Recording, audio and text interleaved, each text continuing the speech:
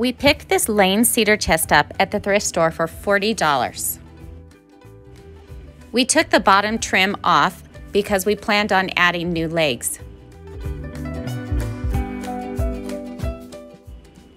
We gave it a couple coats of white chalk paint.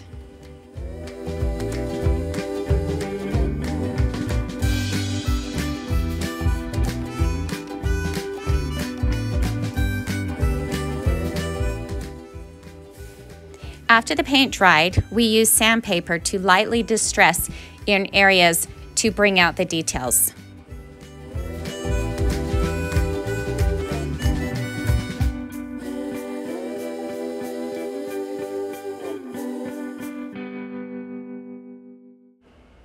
After sealing the paint with clear wax, we added legs. We thought it'd be really fun to add hairpin legs and it was easy to add to the base of the cedar chest.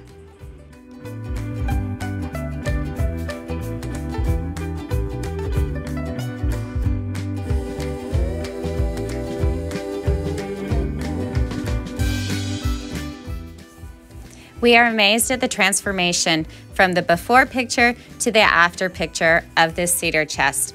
It's ready for new life in a new home.